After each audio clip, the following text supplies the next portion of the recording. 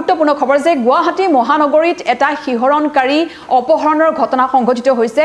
এগৰাকী যুৱতীক অপহৰণৰ চেষ্টা কৰাৰ এটা অভিযোগ উত্থাপন হৈছে আৰু ইতিমধ্যে থানাত গোচৰ ৰুজু কৰিছে যুৱতীগৰাকীয়ে যে যুৱতীগৰাকী অপহৰণৰ চেষ্টা কৰা হৈছিলে আৰু এই ঘটনাটো সংঘটিত হৈছিলে পোন্ধৰ তাৰিখে নিশাৰ ভাগত। যিহেতু এগৰাকী যুৱতীয়ে চাৰিগৰাকী চাৰিখন বাইকত অহা যুৱকৰ বিৰুদ্ধে ইতিমধ্যে থানাত পল্টন বজাৰ থানাত গোচৰ ৰুজু কৰিছে যে যুৱতীগৰাকীক অপহৰণৰ চেষ্টা কৰা হৈছিলে। আচলতে এই সমগ্ৰ ঘটনাটোৰ আঁৰত কি আছিলে বা কি ধৰণে এই ঘটনাটো সংঘটিত হৈছে আমি সেয়া জনাব বিচাৰিম। জানিব পৰা মতে এই ঘটনাটো সংঘটিত হৈছিলে পোন্ধৰ তাৰিখে নিশা গুৱাহাটী মহানগৰীত। জু ৰোডৰ এখন বাৰৰ পৰা এখন বাইকত এজন যুৱক আৰু এগৰাকী যুৱতী তেওঁলোক আহি আছিলে। আৰু তেওঁলোকৰ পিছে পিছে আহি থকা এখন বাহন বগা ৰঙৰ বাহন আমি দেখুৱাইছোঁ আমাৰ পিছফালে।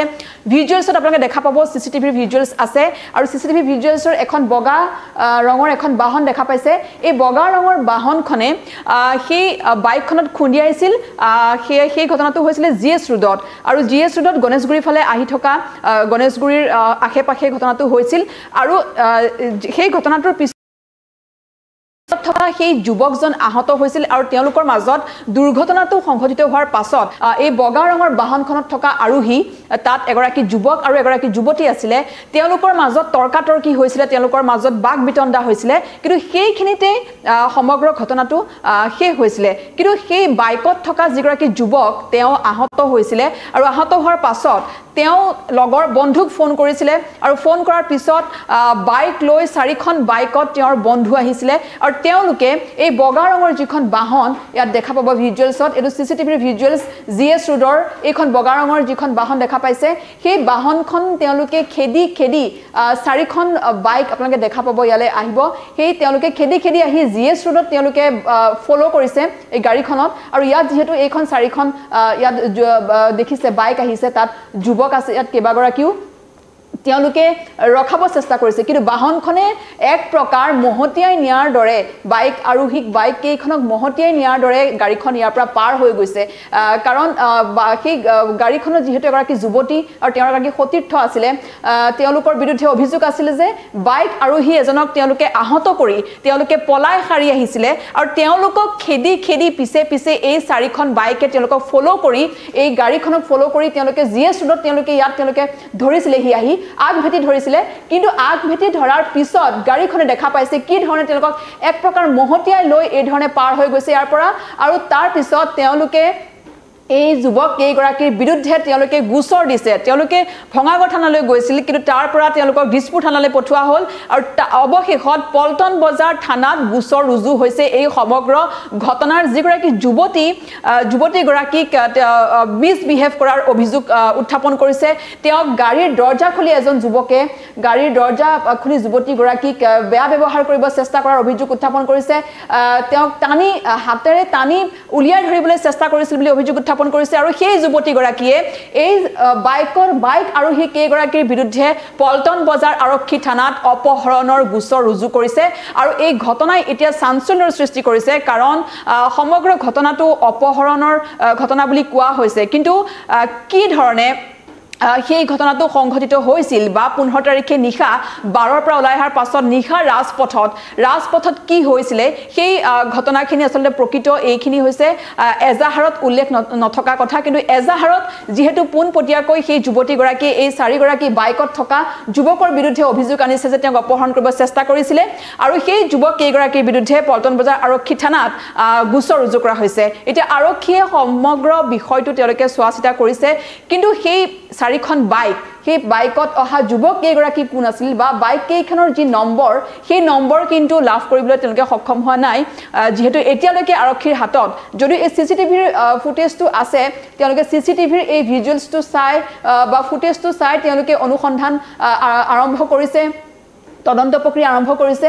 কিন্তু এই বাইক বাইক আৰোহী কেইজন কোন সেয়া এতিয়ালৈকে চিনাক্ত কৰিব পৰা নাই। আৰক্ষীয়ে যিহেতু নিশাৰ ভাগত এই ঘটনা সংঘটিত হৈছিলে জি এছ ৰোডত। আৰু যি যুৱতীগৰাকীয়ে বা তেওঁৰ সতীৰ্থ সেই কৰ্মস্থলীৰ পৰা ঘৰলৈ উভতাৰ পথত অপহৰণৰ চেষ্টা কৰাৰ অভিযোগ তুলিছে চাৰিগৰাকী যুৱকৰ বিৰুদ্ধে। বাহনখনৰ গৰাকী আছিলে হীৰকজ্যোতি পাঠক। সেই বাহনখনত যিগৰাকী যুৱকে বাহনখন চলাই আছিলে বগা ৰঙৰ যিখন বাহন তাত যিগৰাকী চালকৰ স্থানত আছিলে তেওঁৰ নাম হৈছে হীৰকজ্যোতি পাঠক। আৰু সেই হীৰকজ্যোতি পাঠকৰ সৈতে সেই যুৱতীগৰাকী আছিল। আৰু তেওঁলোকে সেই অভিযোগ উত্থাপন কৰিছে যে সেই চাৰিগৰাকী যুৱকে যুৱতীগৰাকীক টানি আজৰি অপহৰণৰ চেষ্টা কৰিছিলে। আৰু অপহৰণৰ চেষ্টা কৰাৰ বাবেই সেই চাৰিগৰাকী যুৱকৰ বিৰুদ্ধে তেওঁলোকে অপহৰণৰ গোচৰ ৰুজু কৰিছে। আৰু বাহনেৰে সেই মহতিয়াই নিবলৈ চেষ্টা কৰিছিলে। ইতিমধ্যে খুব স্পষ্টকৈ দেখা পাইছে আপোনালোকে এইটো ভিজুৱেলছ এটা শিহৰণকাৰী ভিজুৱেলছ দেখা পাইছে। এইটো যিটো চি চি টিভিত বন্দী হৈছে এই বাহনখনত তেওঁলোকে চাৰিগৰাকী যুৱকে বাইক লৈ আহি আগ ভেটি ধৰিব চেষ্টা কৰিছে আৰু সেই এই দেখা পাইছে এই চাৰিখন বাইক আহিছে ইয়াত যুৱক কেইজন আহিছে। তেওঁলোকে আগভেটি ধৰিছে বাহনখনক। কিন্তু বাহনখনৰ গৰাকীয়ে কৌশলেৰে মহতিয়াই এক প্ৰকাৰ মহতিয়াই লৈ যোৱা দি তেওঁলোকে পৰা পাৰ হৈ গৈছে। গতিকে এই ঘটনাটো সমগ্ৰ ঘটনাটো বৰ্তমান আৰক্ষীয়ে যিহেতু তদন্ত প্ৰক্ৰিয়া কৰি আছে যে প্ৰকৃত কাৰণ কি এই ঘটনাৰ প্ৰকৃত কি কাৰণে এই ঘটনাটো সংঘটিত হ'ল যিহেতু ইতিমধ্যে এটা অভিযোগ ইতিমধ্যে উত্থাপন হৈছে যে এগৰাকী বাইকত অহা যুৱকক প্ৰথমে বগা ৰঙৰ এই বাহনখনেহে তেওঁলোকে খুন্দিয়াইছিলে। আৰু যাৰ ফলত সেই বাইকত এগৰাকী যুৱতী আৰু এজন যুৱক আছিলে আৰু খুন্দিওৱাৰ ফলত সেই যুৱকগৰাকী আহত হৈছিল বেয়াকৈ আৰু তাৰপিছত তেওঁলোকৰ মাজত সেই বাইক আৰোহী আৰু এই হীৰকজ্যোতি পাঠকৰ মাজত তেওঁলোকৰ মাজত বাক বিতণ্ডা হৈছিলে যথেষ্ট বাক বিতণ্ডা হৈছিল আৰু তাৰপিছত যেতিয়া বাইক আৰোহী সেই যুৱকজনে তেওঁৰ লগৰীয়াক মাতিলে সেই তেওঁলোকে বাইকত আহিল চাৰিগৰা চাৰিখন বাইকত আহি তেওঁলোকে এই বগা ৰঙৰ বাহনখন তেওঁলোকে ফ'ল' কৰি আহি জি এছ ৰোডত তেওঁলোকে এই ধৰণে আগভাতি ধৰিছিলে। আৰু তাৰপিছতে এই সমগ্ৰ যিটো অভিযোগ উত্থাপন হৈছে যে তেওঁলোকে আচলতে যুৱতীগৰাকীকহে অপহৰণ কৰিবলৈ আহিছিলে।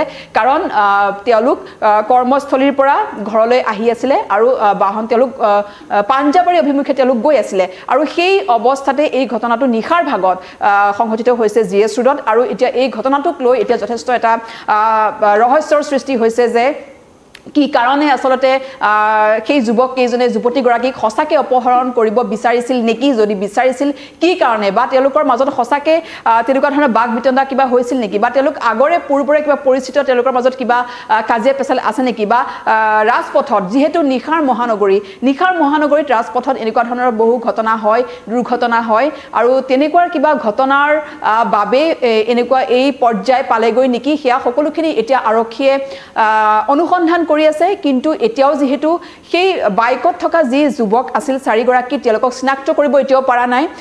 তেওঁলোকক এতিয়াও পৰিচয় উদ্ধাৰ কৰিব পৰা নাই। আৰক্ষীয়ে অনুসন্ধান চলি আছে। সেই যুৱক কেইগৰাকী কোন আছিলে অনুসন্ধান চলি আছে।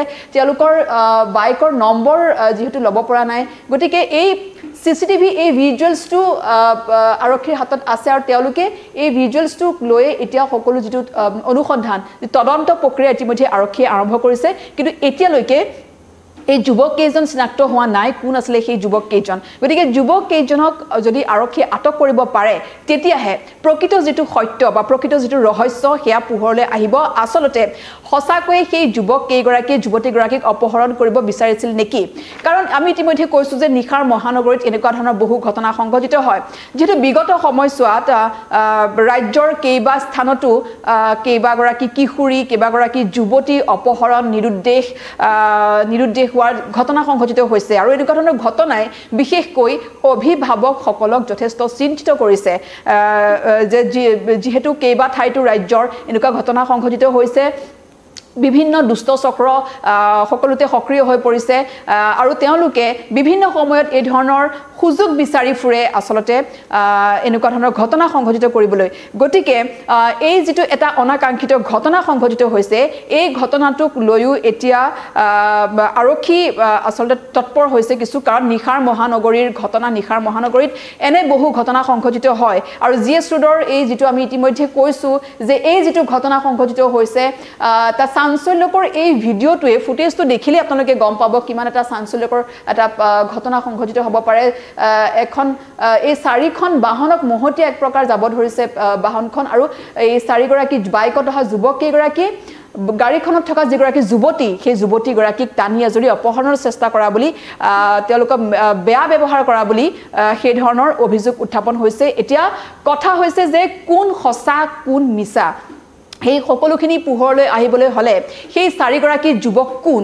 সেই চাৰি বাইকত অহা সেই চাৰিগৰাকী যুৱক কোন? সেয়া প্ৰথমে আৰক্ষীয়ে উদ্ধাৰ কৰিব লাগিব। তেওঁলোকৰ পৰিচয় জানিব লাগিব। তেওঁলোকক সোধ পোছ কৰিলে প্ৰকৃত যিটো সত্য সেই প্ৰকৃত সত্য পোহৰলৈ আহিব। আৰু যিহেতু বিভিন্ন সময়ত এনেকুৱা ধৰণৰ ঘটনা সংঘটিত হয় কিন্তু যিহেতু অপহৰণৰ এটা অভিযোগ উত্থাপন হৈছে গতিকে অপহৰণৰ অভিযোগ উত্থাপন কৰিছে যুৱতী যুৱতীগৰাকীয়ে নিজে আৰু ইতিমধ্যে যুৱতীগৰাকীয়ে সংবাদ মাধ্যমত ভাষ্য প্ৰদান কৰিছে যে কি ধৰণে সেই ঘটনা সংঘটিত হৈছিলে আৰু তাৰ বাবেই পল্টন বজাৰ থানাত যিহেতু গোচৰ ৰুজু কৰা হৈছে এতিয়া সমগ্ৰ ঘটনাটো এই ধৰণে আৰক্ষীয়ে অনুসন্ধান কৰি আছে আৰু বিশেষকৈ সেই চাৰিগৰাকী যুৱক আৰু সেই বাইক কেইখন বিচাৰি আৰক্ষী অনুসন্ধান আৰম্ভ কৰিছে আৰু তেতিয়াহে সেই যুৱক কেইগৰাকী আটক হ'লেহে প্ৰকৃততে কোন দোষী বা প্ৰকৃত ৰহস্য কি এই ঘটনাৰ আঁৰৰ অপহৰণ কাণ্ডৰ সেয়া পোহৰলৈ আহিব।